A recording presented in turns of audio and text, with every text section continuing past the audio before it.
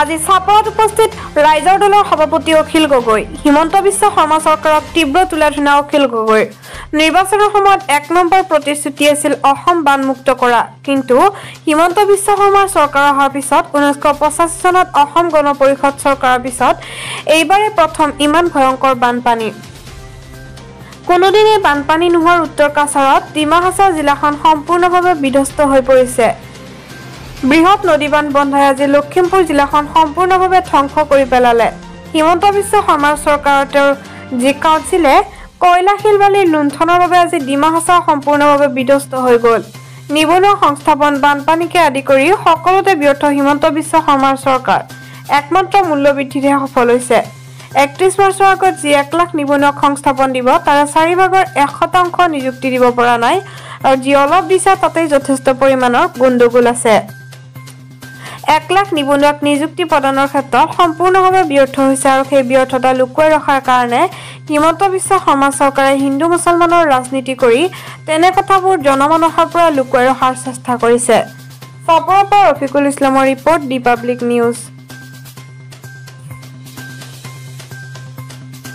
আজি বিজেপি চৰকাৰৰ এক নম্বৰ প্ৰতিশ্ৰুতিটো আছিলে যে ব্ৰহ্মপুত্ৰ ধুবুৰীৰ পৰা শদিয়ালৈকে তেওঁলোকে সম্পূৰ্ণৰূপে ড্ৰেজিং কৰি পেলাব খান্দি পেলাব।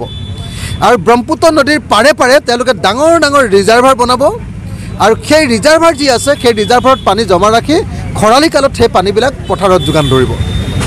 আমি অসমৰ মানুহে ক'ৰবাত ব্ৰহ্মপুত্ৰ খন্দা ড্ৰেজিং কৰা আমি ক'ৰবাত দেখিছোঁ নেকি? আজি আমি দেখিছোঁ নেকি যে ক'ৰবাত এটা তেওঁলোকে ৰিজাৰ্ভাৰ বনাইছে ক'তো নাই। তাৰ বিপৰীতে আমি দেখিছোঁ যে কোনোদিন বানপানী নোহোৱা উত্তৰ কাছাৰত ডিমা হাছাও জিলাখন আজি সম্পূৰ্ণৰূপে ধ্বংসপ্ৰাপ্ত হৈ গৈছে। আজি তাত মন্ত্ৰীয়ে গৈ ক'বলগীয়া হৈছে যে অকল হাফলঙৰ ৰাস্তাবিলাক বনাবৰ কাৰণে এতিয়া এশ কোটি টকাৰ পেকেজ দিব লাগিব। আজি আমি দেখিবলৈ পাইছোঁ যে এফালেদি তেওঁলোকে বানপানী নিয়ন্ত্ৰণ কৰাত ব্যৰ্থ হৈছে।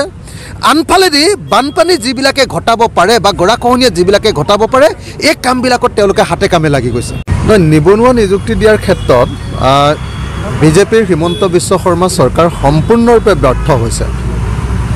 তেওঁলোকে তেওঁলোকৰ নিৰ্বাচনী ইস্তাহাৰত লিখিতভাৱে অসমৰ মানুহক কৈছিলে যে একত্ৰিছ মাৰ্চ দুহেজাৰ বাইছ তাৰিখৰ ভিতৰত তেওঁলোকে এক লাখ নিবনুৱাক গণি গণি নিযুক্তি দিব। একত্ৰিছ মাৰ্চ দুহেজাৰ বাইছ তাৰিখটোতো কাহানিবাই পাৰ হৈ গ'ল। এতিয়ালৈকে তেওঁলোকে এক লাখ বাদ দিয়ক। তাৰ চাৰিভাগৰ এক অংশও এতিয়ালৈকে নিযুক্তি দিব পৰা নাই।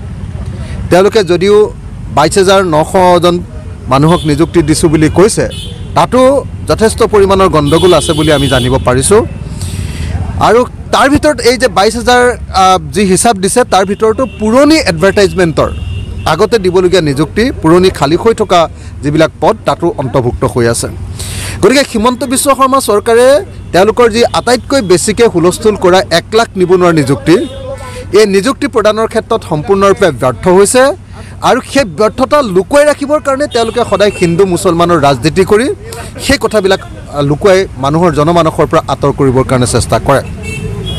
আজি হিমন্ত বিশ্ব শৰ্মা চৰকাৰৰ আটাইতকৈ ডাঙৰ এক নম্বৰ যিটো তেওঁলোকৰ প্ৰতিশ্ৰুতি কি আছিলে? এক নম্বৰ প্ৰতিশ্ৰুতিটো আছিলে যে অসমক তেওঁলোকে বানমুক্ত অসম কৰি পেলাব। বানপানী নাইকিয়া হৈ যাব।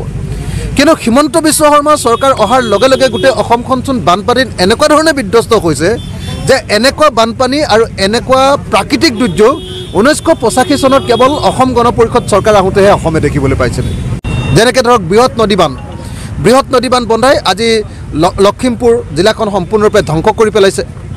আজি কুৰিচু বান্ধৰ কাৰণে নামনি অসম ধ্বংস হৈছে। আজি উত্তৰ কাছাৰত যে ডিমা হাছাও জিলাত যে ইমান ধ্বংস কাৰ্য হৈছে কি কাৰণে? তাৰ কাৰণটো হ'ল হিমন্ত বিশ্ব শৰ্মা চৰকাৰ আৰু তেওঁ যিসকল লগৰীয়া যিখন কাউন্সিল আছে তেওঁলোকে উত্তৰ কাছাৰত ইমান বেছি কয়লাৰ লুণ্ঠন কৰিছে যে পাহাৰবিলাক ভাঙি চিঙি শেষ কৰি পেলাইছে।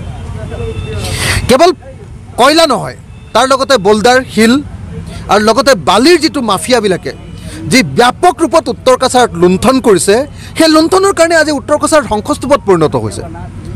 তেনেকৈ কয়লাৰ লুণ্ঠন তেনেকৈ বালিৰ লুণ্ঠন শিলৰ লুণ্ঠনৰ উপৰিও বৃহৎ নদী বান্ধৰ কাৰণে বিজেপি চৰকাৰে যেনেকুৱা ধৰণৰ আগ্ৰহ প্ৰকাশ কৰি ব্যাপক ৰূপত এই ধৰণৰ কামবিলাক কৰি আছে তাৰ ফলস্বৰূপে আমি দেখিবলৈ পাইছোঁ যে আজি অসমখন সম্পূৰ্ণৰূপে বান আৰু খহনীয়াত ধ্বংসস্তূপত পৰিণত হৈছে।